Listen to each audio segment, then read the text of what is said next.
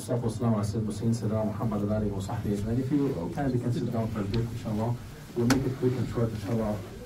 Uh, one of the things that uh, struck me throughout this uh, very difficult uh, uh, tragedy that befell on the Muslim Ummah is how hypocritic the international community again have demonstrated uh, their lack of uh, responsibility and response to the needs of the Muslims. Now, we know what the Syrian people have gone through through the past decade. They went through so much hardships, they were relocated, and they went through uh, so much killing and destruction, and they sought refuge in northern parts of Syria. Now, Allah Azza have, uh, from His wisdom, have ordained to have uh, an earthquake hitting South Turkey and north of Syria.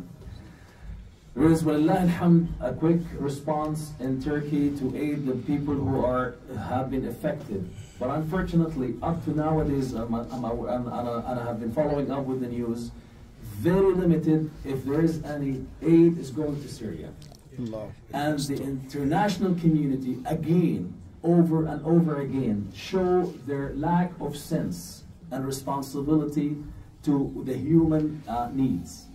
What we need to do today is to sincerely be saying to Allah Azza Ma illa illa anta ya Allah. And this is the slogan that the Syrian people have started with at the beginning of their ordeal.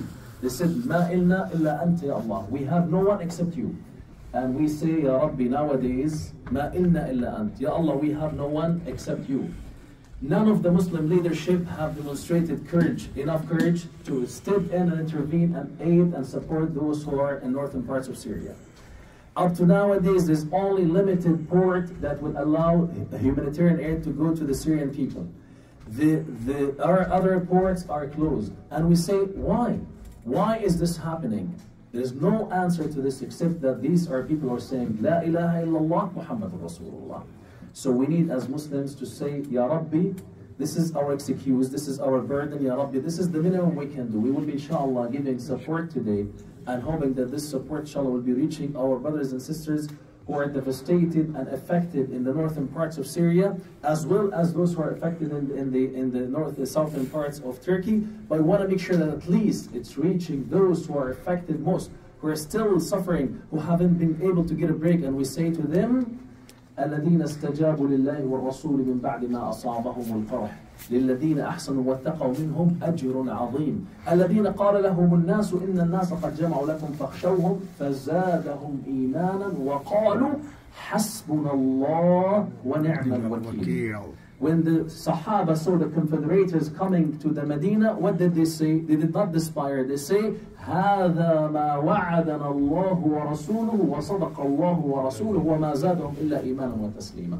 And as we're seeing what is happening to our Muslim fellows, we say the same thing. هذا ما وعدنا الله ورسوله وما زادنا إلا إيمانا وتصديقا. Now we are more certain that the victory of Allah Azza wa Jal is coming, and inshallah it's coming very soon because إن مع العسر يسرا إن مع العسر يسرا. With difficulties comes the ease.